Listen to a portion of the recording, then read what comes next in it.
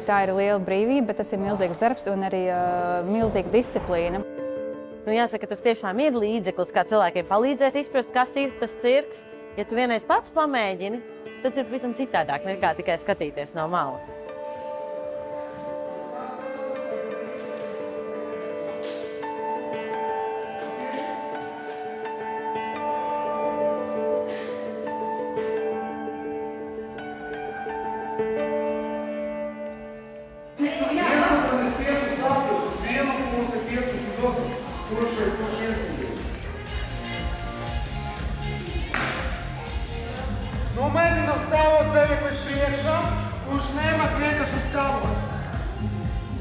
Mēs šobrīd esam Rīgas cirka skolā, kas ir pārdaugavā. Cirka skola ir ēka un iestāde, kur var gan, audzē, gan jaunieši, gan arī pieaugušie. Viņi var apgūt cirka mākslu, dažādas disciplīnas, sākot ar žonglēšanu, ar līdzsvaru apgūšanu, ar aktieru mākslu, ar tādu skatuves mākslu līdz akrobātikai, kas arī dalās ir grīdas akrobātika un ir gaisa akrobātika. Un, un tiešām ir, tā ir vieta, kur visi var justies tādi, kādi viņi ir. Ko es saku, kā man ir lielākais kompliments, ka nāk bērni un viņi saka, ka viņi atnāk uz cirka skolu un tad viņi jūtās tiešām brīvi tādi, kādi viņi ir. Jo te tiešām katrs pats sacenšas tikai ar sevi un, un viņš dara tiešām tikai to, ko viņš grib darīt un cik viņš var darīt. Es neatceros, kā radās tā mana pārliecība, ka vajag cirka skolu, bet es zinu, ka man viņa bija jau ļoti, ļoti sen.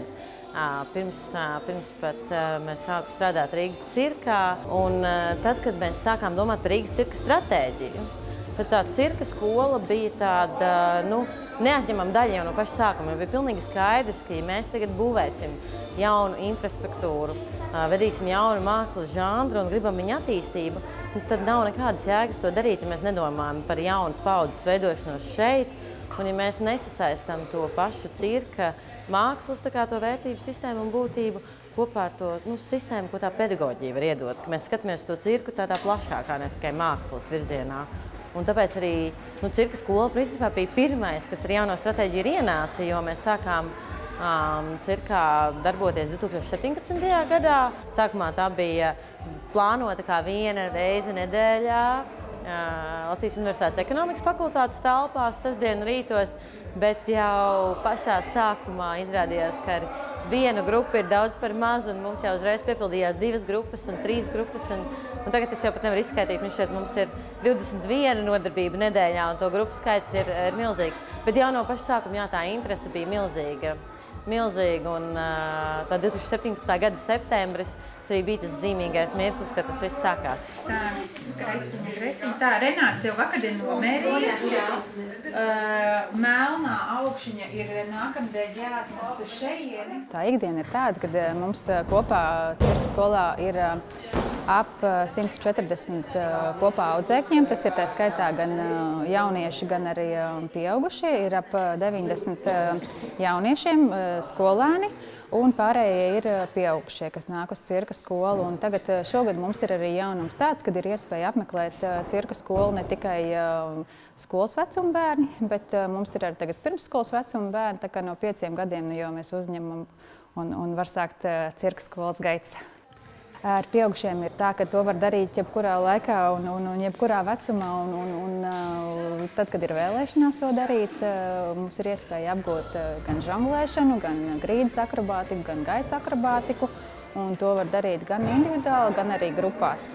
Pasniedzēji mums ir dažādi pasniedzēji. Ir gan latviešu pasniedzēji, gan ārzemju pasniedzēji mums Pasniedzēji ir pārsvarā tādi, kas ir arī paši ir mākslinieki, kas uzstājās arī izrādēs.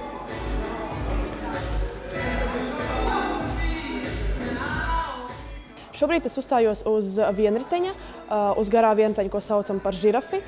Tas ir vienritenis, kurš apmēram šādā augstumā. Un, daudziem šķiet, ka tas ir diezgan bīstami, un daudziem šķiet, ka krišana ir diezgan bīstama lieta, bet īstenībā, ja pareizi māk krist un par, zināt pareizu tehniku, tad viss ir ļoti droši.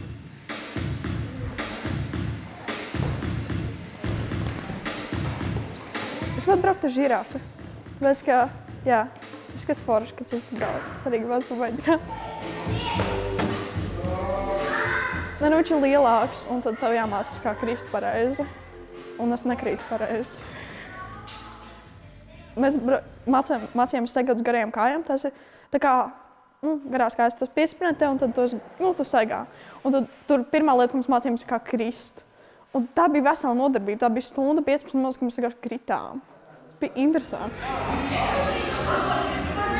Mūsu saista komandas darbs, mūsu kolektīvs. eh, eh, Mēs eh, cenšamies nu, iedot cilvēkiem prieku, jo priekš, priekš cilvēkiem eh, mums dod pašiem enerģiju, kas šķiet ļoti eh, aizraujoši. Īpaši redzēt tās visas priecīgās sejas, eh, visu tās cilvēku emocijas, kuri ir pārsteigti par to, ko, cilvē, ko jaunie cirka audzēkņi prot.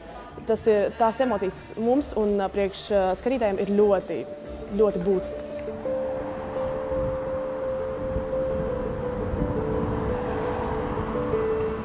Manuprāt, cirkā tas īpašais ir tas uh, ierastās, dažādās tie mākslas žanri. Viņi ir kopā vienopus uh, tajā laikmatīgajā cirkā, jo uh, laikmatīgais cirks sastāv gan no dēļas, gan no mūzikas, gan no aktieru meistarības. Teiksim, izrādēs arī tur ir kaut kāds apakšā stāsts, izdzīvojums, piedzīvojums, ko tur tajā katrā izrādē arī piedzīvo.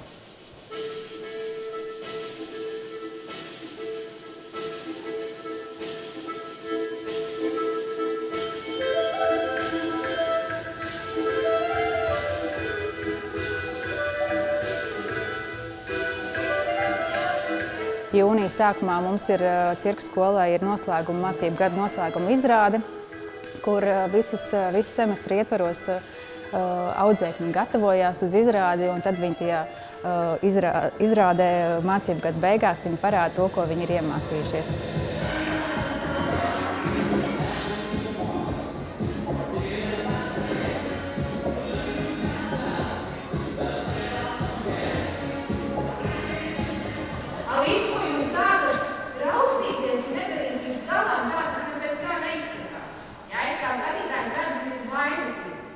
Un vai vienkārši to ļauties, ja izklausies to, ka jūs, ka jūs esat šeit uz skatuves un jūs esat aktieri. Jūs pieskatāt.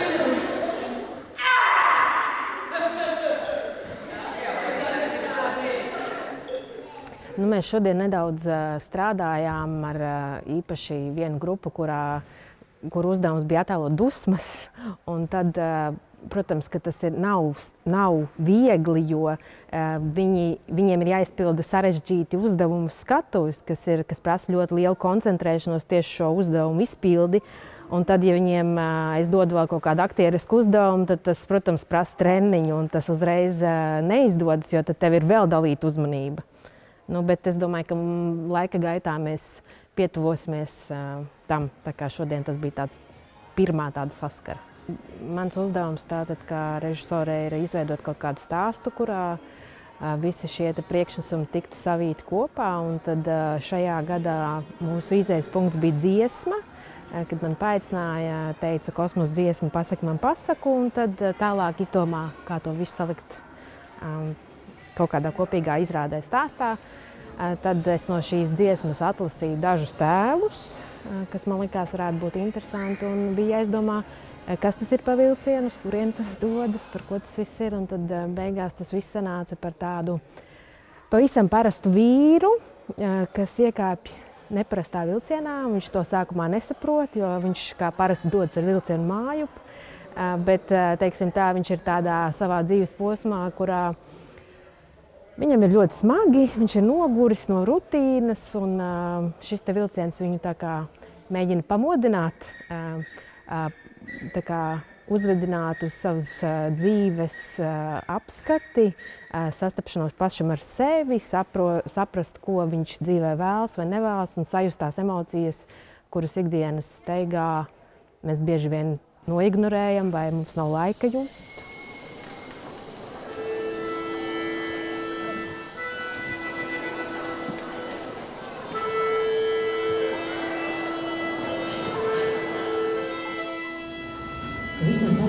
Vīrs steidzās, un tomēr paspēja.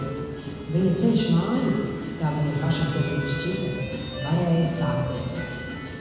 Tikai šis nebija pārstas brauciens, jo šim vilcienam nebija noteiktas galvastācijas.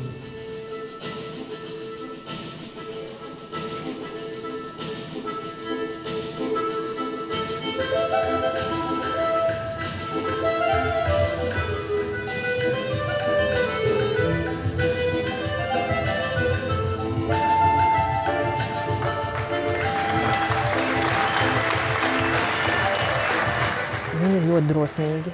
Es viņus apbrīnoju to, ko viņi te dara. Es, es to nekad nevaru darīt, jo es esmu, man, piemēram, būtu bail tā karāties. Es, es, es droši vien nokristu no tā, vien, ka es baidos. Bet viņi nebaidās, krīt no tiem vienriteņiem, brauc tālāk, neko, neko neizrāda, ka viņiem kaut kas nesanāk.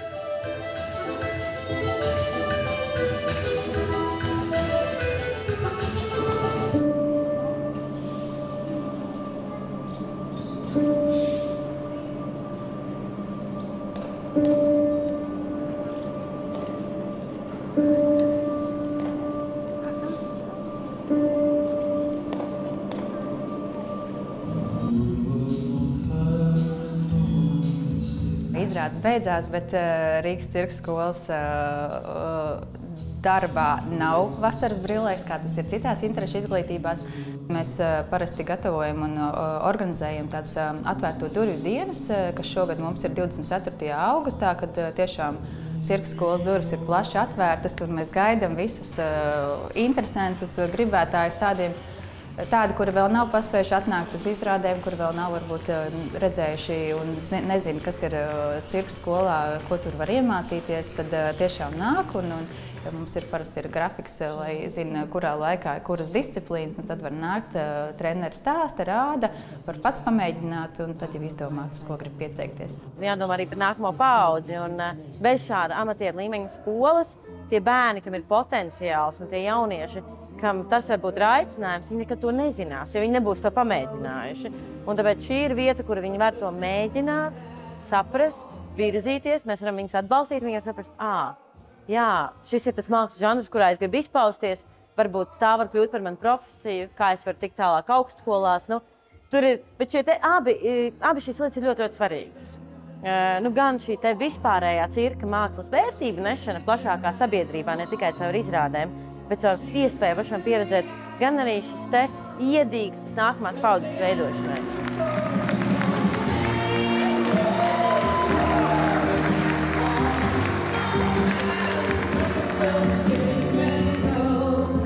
Tas jau ir tas pats labākais, kad, eh, kā saka, teiksim, kad mākslinieks uzstājās. Ja, teiksim, ja dziedātājiem, lai viņš dzied tā, ka nevis viņš pats raud, bet lai pārējiem liktu raudāt, nu tad, man liekas, tādam cirka māksliniekam tas, tas lielākais tas pienesums, ko viņš var darīt, ir, ka tu uzstājies un tev liekas, ka tā ir super brīvība, bet tur apakšā ir super smags darbs.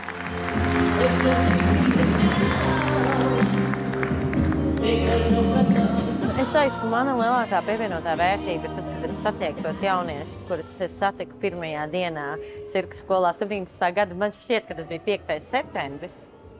Un, kad es viņus satieku gaitnī, un es redzu, ka viņi ir nenormāli forši cilvēki. Un kā viņi savā, darbā, savā starpā sarunājās, kā viņi komunicē, nu, kāda ir vispār tā viņu nu, spēja un, un, un tāds briedums jau. Uh, tas ir tas, kas man dod vislielāko gandrījumu. Protams, ka man ir prieks, ka viņi grib palikt cirkā, ka viņi grib darīt. Bet nu, tas jau ir tāda, nu, tā ir viņa profesionāla izvēle. Tas jau ir tālāk par karjeru, un tas var mainīties un tā tālāk. Bet tas, ka viņi ir atraduši to prieku un, man liekas, to tiešām sadarbības um, atmosfēru, kas valda tiešām cirka kopienā visur pasaulē, kur es esmu braukusi, un ka viņi to pleš plašumā. Un ka viņi ar to savu pozitīvu, viņi ietekmē tos apkārtējos cilvēkus.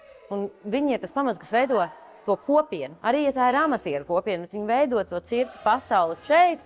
Un eh, nevis tik daudz par to, cik viņi to dara ar savām tādām nu, praktiskajām spējām, bet tieši ar tām, ka viņi, viņi turpina tās vērtības. Un man liekas, ka tas ir svarīgākais, ka viņi nes tālāk tās cirka vērtības, lai kurā profesijā viņi pēc tam aiziet.